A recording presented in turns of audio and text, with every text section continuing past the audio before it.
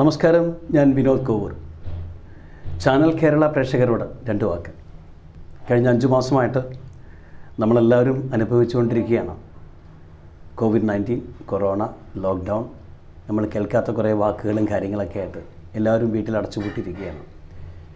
ഇപ്പോൾ കുറച്ച് രൂക്ഷമായിക്കൊണ്ടിരിക്കുകയാണ് കേരളത്തിലെ അവസ്ഥ. നിങ്ങളെല്ലാവരും പത്രം വായിക്കുന്നവരാണ് ന്യൂസ് കാണുന്നവരാണ്. കാണുമ്പോഴൊക്കെ നിങ്ങളുടെ ഉള്ളിലും ഒരു നടുക്കം ഉണ്ടാവാം. കാരണം ഇപ്പോൾ സ്പ്രെഡ് ചെയ്ത് തുടങ്ങി.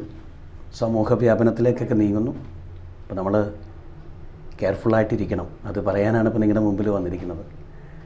എല്ലാവരെയും ബാധിക്കുന്ന ഒരു പ്രശ്നമാണത്. നമ്മളെല്ലാവരും സൂക്ഷിച്ചാൽ മാത്രമേ നമുക്കിതിനെ നമ്മുടെ നാട്ടിൽ നിന്ന് ഇല്ലാതാക്കാൻ പറ്റുള്ളൂ.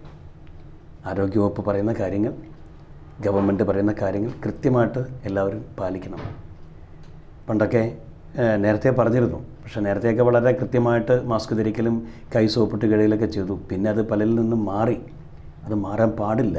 ഇപ്പോഴും വലിയ രീതിയിൽ ഒരു ഭീഷണിയായിട്ട് ഈ കൊറോണയുടെ വൈറസ് നമ്മുടെ അന്തരീക്ഷത്തിലുണ്ടെന്നറിയുന്നു.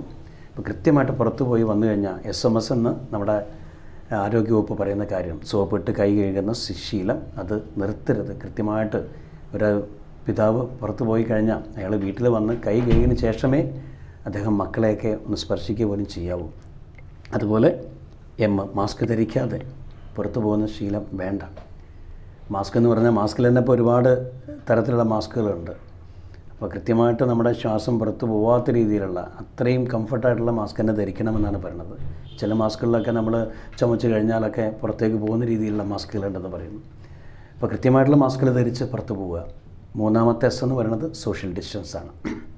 പുറത്തിറങ്ങിക്കഴിഞ്ഞാൽ ഒരു സാമൂഹിക അകലം. രണ്ട് മീറ്ററെങ്കിലും അകലത്തിൽ നിൽക്കുക മറ്റുള്ള ആളുകളെ സ്പർശിക്കാതിരിക്കുക. ഇങ്ങനെയൊക്കെ ചെയ്തു കഴിഞ്ഞാൽ സൂക്ഷിച്ചു കഴിഞ്ഞാൽ നമ്മുടെ വീട്ടിലേക്ക് കൊറോണ വരാതിരിക്കാം. പുറത്ത് പോയിട്ട് നമ്മൾ വീട്ടിലേക്ക് കൊണ്ടുവരാതിരിക്കുക നമ്മുടെ വീട്ടിലേക്ക് ഇത് നേരിട്ട് കയറി വരില്ല. ഇപ്പോഴത്തെ അവസ്ഥയൊക്കെ നിങ്ങൾ കാണുന്നതാണ്. എത്രയോ കാര്യങ്ങൾ എത്രയോ ബോധവൽക്കരണ പരിപാടികൾ നാട്ടിൽ നടക്കുന്നു. അതോടൊപ്പം ഞാനും കൂടി നിങ്ങളെടുത്ത് പറയുന്നു. Be careful thank